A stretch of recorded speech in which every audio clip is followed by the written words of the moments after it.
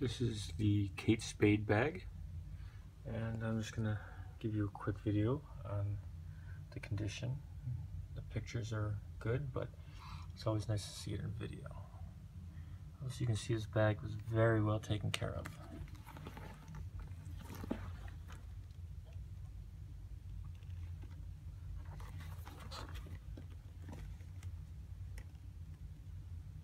Back.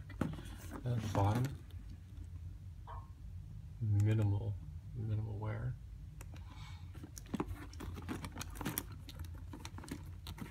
Inside, very clean.